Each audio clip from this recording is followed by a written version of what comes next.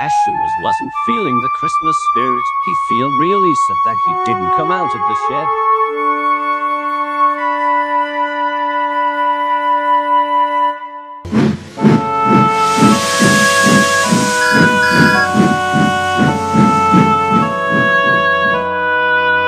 Hello, Ashton. I know you are not feeling the Christmas spirit, but I come to give you some company.